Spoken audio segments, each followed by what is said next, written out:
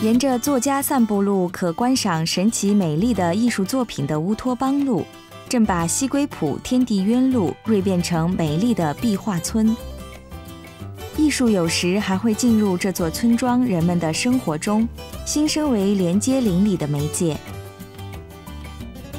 现在看到的十九号作品《和解的休息区》，正在成为村民之间和解和沟通的场所。这件作品是作为老人医院的休息区组建项目而创作的，利用老人医院前面的小块地，创建了不仅是老人，村民们也可以一同休息的艺术休息区。现代人就像转轮旋转一样，每天过着重复的生活，不妨暂停忙忙碌碌的脚步，做一下深呼吸吧。